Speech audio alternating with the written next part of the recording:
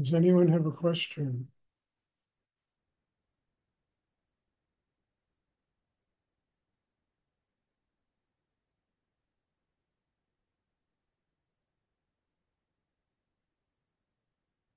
You know, many years ago, I used to teach this meditation in a halfway house for basic juvenile delinquents, kids between the age of about 16 and 18 that got into a lot of trouble with the law. And I'll never forget, I was talking to them about they were, you know, dying of thirst or starving to death in the middle of a desert. And they smelled a hamburger about a mile away. Uh, nothing could stop them from getting to that food. They would find the adrenaline, the energy to get to that food. And I remember one kid raised his hand, you know, this kid, he, what he said was just really wonderful. He said, Yeah, but if he ate the whole hamburger at once, he would die on the spot. And it's so true about this spiritual practice. You know, we want to eat the whole hamburger at once. We want to be enlightened in two weeks, in a week, in a day, not realizing that it's a step by step situation of gradual internal growth and transformation that enables a human being to build a system inside that is strong enough to eat the entire hamburger. And I think our work is very much the nature like that. It takes time, it takes patience, but the slow, gradual building of an inner life is like building a pyramid, like they built those pyramids in Egypt, stone by stone. They didn't build from the top down, they built from the bottom up. And those stones, each stone must weigh 500 pounds. Putting it in, cementing it, and, and eventually how they got to the top is, I, I didn't even want to think about can't imagine what they went through. But our work is like that. And, you know, too often we think that we want to arrive before we've even begun. You know, we project, you know, the Academy Award before we even got the role in the movie. And it's something that goes on in the heads of people. And it really is something that makes it difficult to attain you know, that ultimate end of spiritual enlightenment. Accepting a day at a time, accepting a step at a time, you know, understanding, you know, the difficulty of growing and yet also being in touch with that thirst, that hunger inside ourselves that truly wants to be with God. It's like that Japanese expression, that koan that I always you know, climb Mount Fuji, oh snail, but slowly, slowly. I mean, I think that's just, it really says it. You know, we're all a bunch of snails wanting to get to the top of Mount Fuji in record time. And yet we can only do it slowly, slowly, step at a time, an opening at a time, and allow that spiritual nourishment to truly guide us. So at some point in the climb, we're no longer starving to death, but we are truly in need of that energy because we know what it does to keep us growing and to keep us connected with God or higher energy in the universe.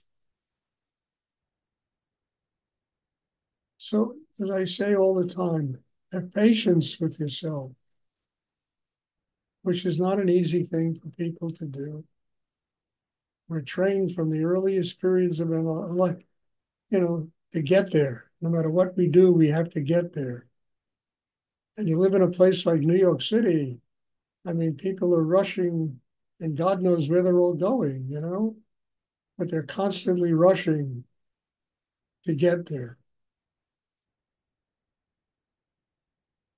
Like I said a couple of weeks ago about my daughter, I was in a train coming from upstate New York to New York City.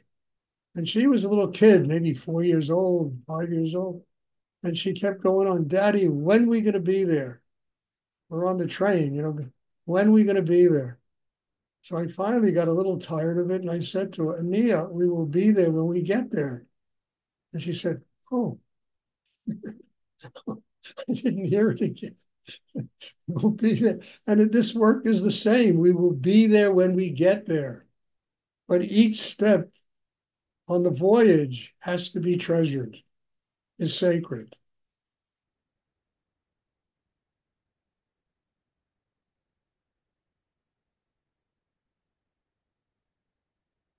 Does anyone have a question they would like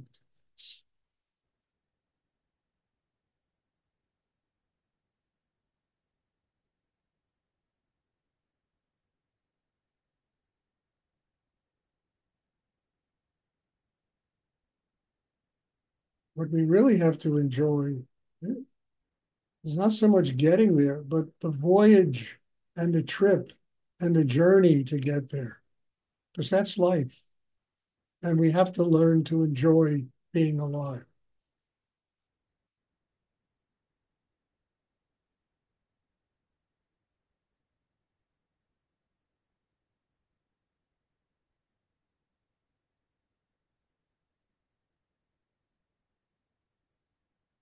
I hope it's clear what I'm talking about. I think it's a very important factor in finally coming to terms what it means to do inner work and to develop a spiritual life. I mean, frankly, do we ever get there? No, it, God is infinite. God is beyond all human comprehension. Spirit goes infinitely into the universe. And one of the great treasures of life is maybe that we don't get there, but we continue to grow and expand our consciousness and creativity, getting closer and closer to perfection.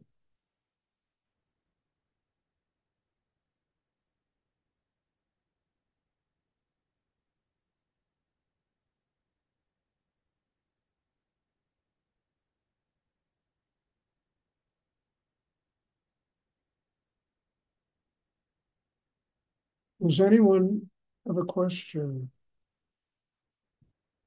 No questions. Okay. Thank you. God bless you all.